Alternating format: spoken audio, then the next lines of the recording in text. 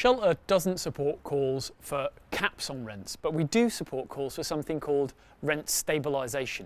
Specifically, we're calling for something called the stable rental contract. So what is it? Well, there are three essential elements to the stable rental contract. They're not all about rents directly, but they are all needed to make the system work properly. The first is giving renters the option of staying in their home for the long term. With a stable rental contract, you would have the option of staying in your home for five years, and within that period, your landlord wouldn't be able to ask you to leave without a good reason, like if you haven't paid the rent, for example. The second part is about giving renters greater flexibility over when they can move out. So although you would be able to stay in your rented home for five years under the stable rental contract, you would also be able to leave it at any point if you gave notice.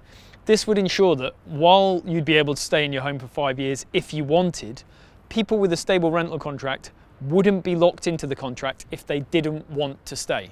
And the final part is about the rent. Within that five year tenancy period, then your landlord wouldn't be able to put your rent up by anything more than inflation.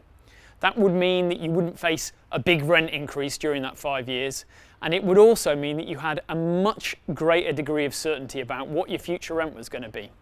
It would help to stabilise rents because it would mean they couldn't rocket out of control, but at the same time, it wouldn't have the same risks as a rent cap. And this is what we support at Shelter, as well as other measures to make renting more affordable, like protecting housing benefit and building more genuinely affordable homes. But what do you think? Would you like to have a long-term tenancy with predictable rents? Let us know in the comment box below, subscribe to our channel if you want to hear more, and thanks for watching.